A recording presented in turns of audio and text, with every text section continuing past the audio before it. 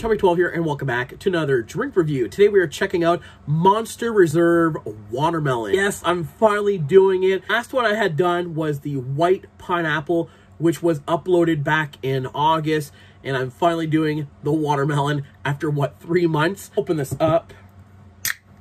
That Watermelon flavor, wow. Try this Watermelon Reserve Monster. Cheers.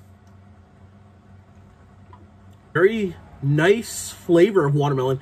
Maybe not as good as the white pineapple. I did enjoy the white pineapple a little bit more. I recall I did enjoy the white pineapple monster. It was not bad.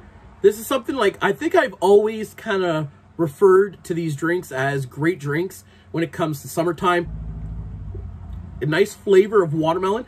If you love watermelon, this is the one you guys might want to check out. If you love pineapple, definitely check out the white pineapple. Monsters has never been my favorite types of energy drinks, but uh, over the past few years, they've really came out with these fantastic flavors. Oh, if I recalled the white pineapple monster, I had given it a 4 out of 5. I think I'm going to give this one a 3 out of 5 from me to you all day. I enjoy the white pineapple more than this one. It's surprising because I definitely enjoy watermelon beverages a lot more than pineapple but there's just something about the white pineapple that to me, it tastes a lot better than after trying this one.